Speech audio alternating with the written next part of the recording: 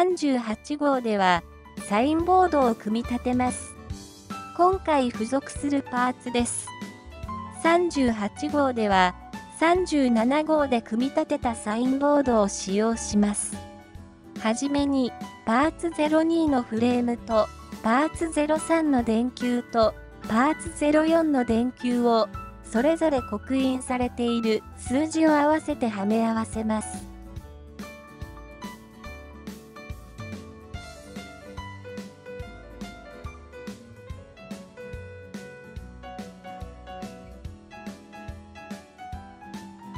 次に、フレームの右端を37号で取り付けたフレームの切り欠きに合わせます。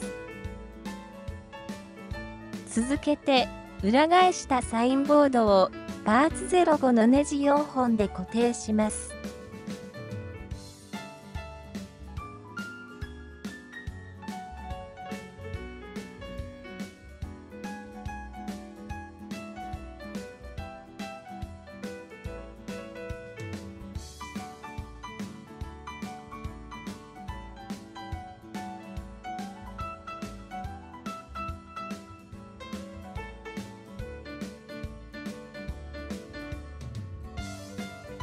これで38号の組み立ては終了です。